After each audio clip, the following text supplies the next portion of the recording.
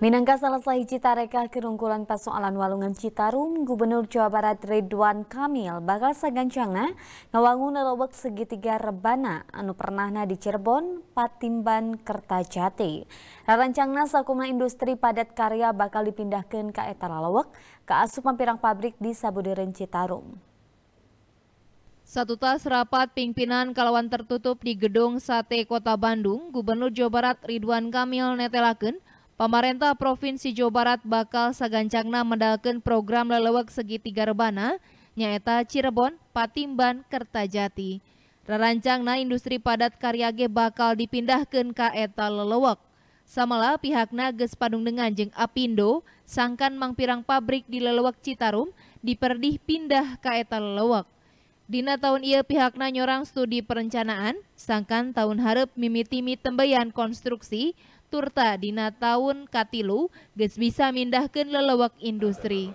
Eta segitiga rebana teh bakal ditaratas minang ke lelewak ekonomi khusus, tapi ka prak-prakan perizinan jeng sejena bisa dipaju lebih gampang.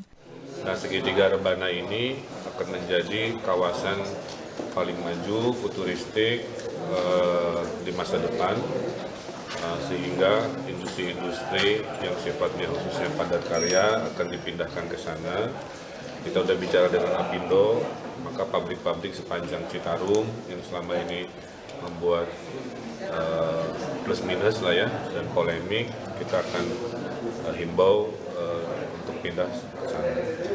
Uh, tahun ini kita mulai studi perencanaan, konstruksi ya mungkin tahun depan sehingga di tahun ketiga sudah bisa pindah-pindah dari apa yang ada sekarang. Lian itu pihakna bakal lebih musir karena prak-prakan numuhkan Jawa Barat tebeh kidul, kucara ngawangun jalur kareta Pangandaran tepika Banten, turta ngawangun bandara di Sukabumi, Pangandaran, Tasikmalaya, serta Garut tebeh kidul. Budi Hartati, Bandung TV.